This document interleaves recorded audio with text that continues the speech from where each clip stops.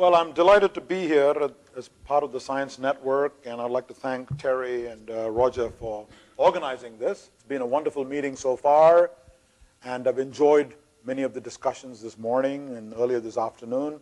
I enjoyed some of Richard Dawkins' comment, and also a lecture given by Neil, uh, which I enjoyed immensely, but there's one minor point of disagreement.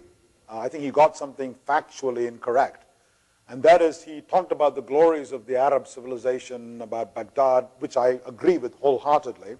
But then he referred to Arabic numerals, that they invented the number system as we know it with zero and numbers. In fact, these should be called Indian numerals. they, they, actually originated in India in the second century AD and then were transmitted to the Arabs and from there to the, to the West. And Western scholars therefore refer to it as, as Arabic numerals. Um, but you know that doesn't contradict the spirit of what you're saying, which I agree with. Now, regarding God, which is the main theme uh, of this conference, uh, I think the word is used in many different ways.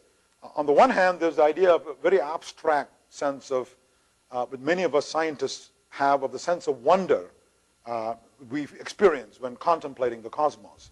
In other words, God is synonymous with natural phenomena, uh, with the universe, if you like. And uh, this is a recurring theme in many Eastern philosophical traditions. And I can't find anything wrong with that, and I think many of you would agree. But then there's a notion of a personal God, that there's a, this guy, old man, watching us and who punishes us for our sins and rewards us, gives us brownie points for, for um, good deeds. And that I find hard to believe, and I'm sure that most of you here would agree with that. Now, I also want to talk about um, what I'm going to mainly talk about is the origin of religious belief. Uh, what parts of the brain are involved? Obviously, the brain is involved in religious belief, but are some parts of the brain more involved in, than other parts? And also the evolutionary origins of re religious belief. And let me say at the outset, I don't believe in intelligent design. I believe, uh, maybe I'm preaching to the choir here, but essentially a random process of natural selection is what's involved in evolution and I don't believe in intelligent design. And it's ironic that our president is, is championing this, this view of intelligent design, given that his own existence is a living negation of any such principle. Um, now, the other topic that came up repeatedly is the notion of consistency of belief. How can somebody be an eminent physicist, even logician like Kurt Gödel, uh, come to believe in, in, in something like God? So how can somebody hold inconsistent, inconsistent beliefs, even though the person may be extraordinarily intelligent? And I have a, an answer to that. I think that consistency of belief, in fact, is the exception rather than the rule in human behavior.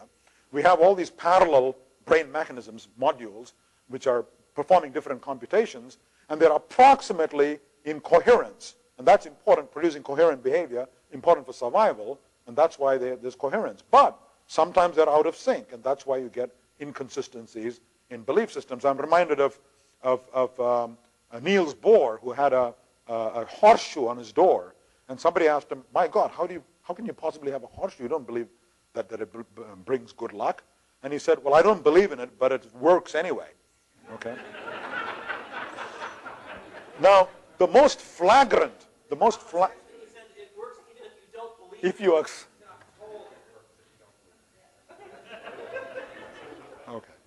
Now, the most flagrant example of this is seen in neurology.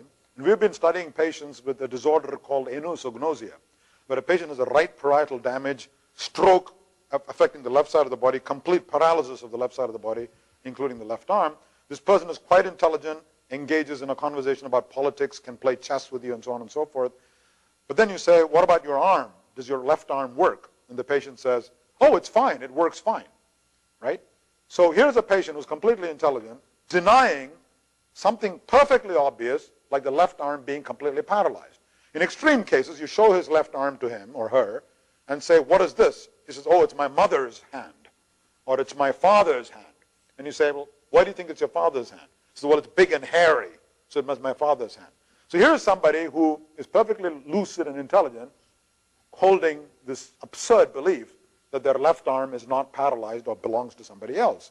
In fact, I saw a patient the other day, and, and, and she said, My left arm, this arm doesn't belong to me. Uh, it's not paralyzed. It's fine. Okay. Then I said, Touch your left shoulder with your right hand. And of course, there's no problem. The right hand is fine. And he does that. Then I said, Touch your right shoulder with your left hand. And he does this. Now, that's amazing because it shows that somebody in there knows she's paralyzed. Okay? Uh, this is an absolutely striking example of inconsistency in belief. Now, you may think this person denying paralysis or denial is a very rare neurological syndrome, but not all of us here. But in fact, it's extraordinarily common. All of you here, most of you here, engage in denial all the time. But let me give you a little proof of this. Somebody recently conducted a survey asking people everybody, are you above average or below average in intelligence? 98% of people say they are above average in intelligence. And this is mathematically impossible because it's obviously a Gaussian curve. And what it shows is half of mankind is in denial about its stupidity. This was painfully evident in our last presidential election, by the way. Okay, so uh, now let's go to get to the neurology. And one of the, th- one of the group, one group of patients we have studied is Split brain patients or commissurotomy patients. These are people whose corpus callosum has been cut and anterior commissure and massa intermedia whenever encountered.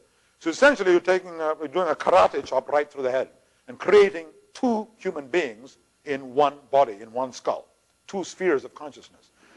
Now, many experiments have done on, been done on these people, and I asked myself a very simple question. Okay, you've created two people here. What about their personalities? Do they have different personalities? What about their aesthetic preferences? Does one like blondes and the other like brunettes, for example? One like chocolate and the other like vanilla? What, what happens? So we tried these experiments. And what we did was we had to first train the right hemisphere to communicate with us. In fact, the right hemisphere can read simple commands, simple words, simple sentences. And then you ask a question and say, point to a box, yes, no, I don't know. Because it can't talk. The right hemisphere cannot talk. But it can comprehend simple semantics, simple questions. Left hemisphere, of course, can talk. So you can present boxes, yes, no, I don't know. So we asked, for example, are you at Caltech? And the right hemisphere pointed to yes. Are you on the moon? It said no. Are you, uh, uh, are you um, in California? It said yes. Are you asleep? It said no. Then I said, are you a woman? And the patient was male. And he pointed to yes. And then started chuckling and laughing. So at least the right hemisphere has a sense of humor. Okay. Okay, so now comes the big question. What if you ask, do you believe in God? So I said, do you believe in God? And the right hemisphere went straight to yes. Right? Ask the same question to the left hemisphere, yes, no, I don't know. It went to no. Right? So here's a human being whose right hemisphere is an atheist, and left hemisphere, on the other hand, believes in God. And this finding should have sent a tsunami through the theological community but barely produced a ripple because it raises all kinds of profound theological questions. If this person dies, what happens? Does one him?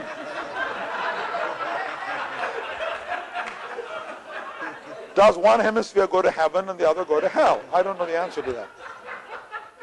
Now, now the next group of patients we studied were patients with temporal lobe epilepsy. And it's been known for a long time, people with seizures originating in the temporal lobes, epileptic seizures.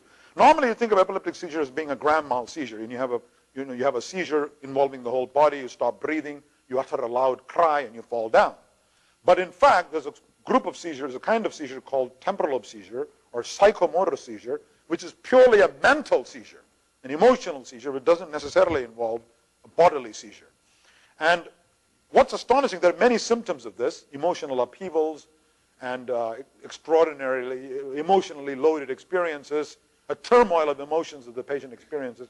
But the most striking aspect of these people is not only during the seizures, but interictally, when they're not having seizures, they have extraordinarily, they have tremendous religious experiences and mystical experiences.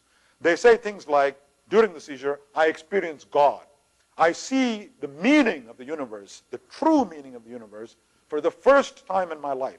Everything is deeply significant. I understand my place in the cosmic scheme of things. That's what they say. And this happens also in between seizures, but primarily during seizures. Sometimes they'll actually say, I'm talking to God, or God is talking to me.